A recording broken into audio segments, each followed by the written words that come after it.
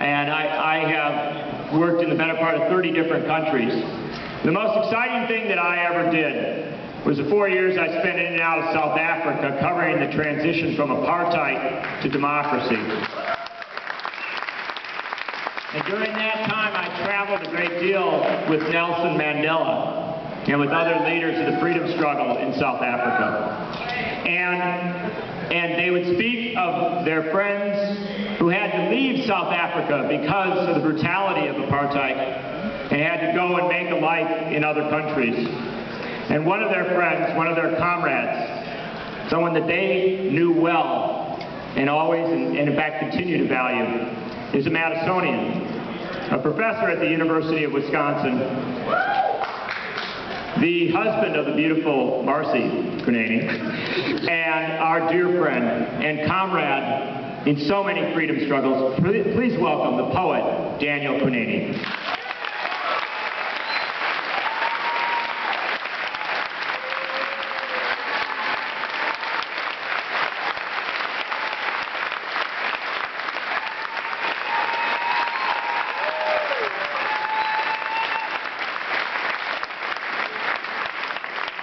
Thank you, John, and thank you all for being here tonight.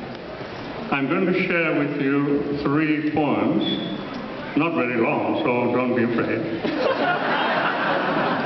the first is entitled Be Penitent. One deep, dark mile your rapacity drove you hard, you probed my secret places, drove your rigid, cold, stale rods into my spine, overruled reason, yelling threats and swank when you were warned to be patient. One deep, dark mile.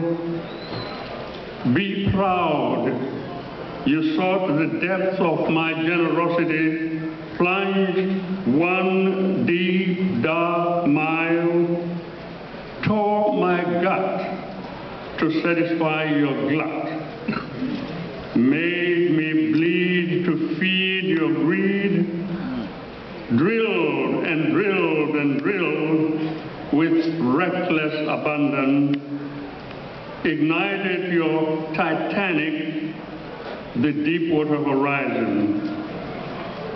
How can you atone for your recklessness, clean up the vast ocean, restore the lives of those who died, the health of those who are sick and poisoned? One deep, dark mile this oily guilt will stain your hands forever.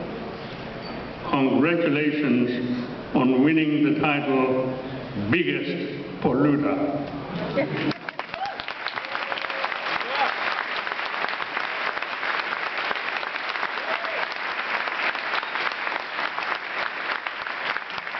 Thank you. The second poem where have you not walked? Rock-ribbed mountains, brush-covered hills, dense forests, crocodile-infested swamps, fast-riding streams, treacherous swirling whirlpools, snowy wastelands. Where have you not walked, Obama? Deserts, savannas, sands,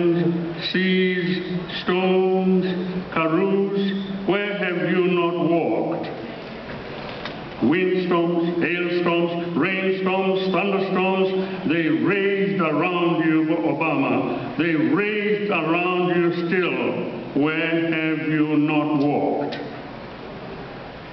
The mountains, the hills, the swamps, the streams, the whirlpools, the snows challenge you still.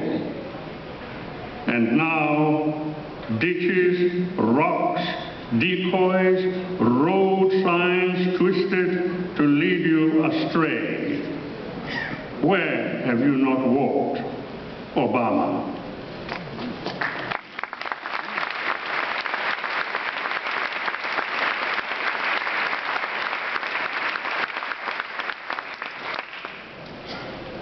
The sign at the corner of my garden. The sign at the corner of my garden still stands tall, still proclaims loudly, it's time for peace, stop the war. The sign at the corner of my garden has been uh, packaged by the rains, the storms, the sin, and yet it still stands tall and proclaims loudly, it's time for peace. Stop the war.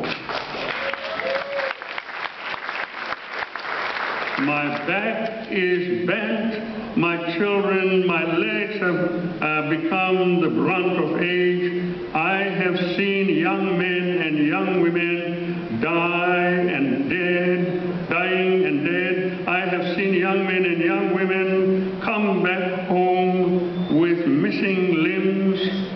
I have seen young men and young women come back with twisted brains, dumped where they shared space with cockroaches. And I have asked, why? So says the sign, still standing tall at the corner of my garden. And one more time appeals to you, stop the war. It's time for peace. Thank you.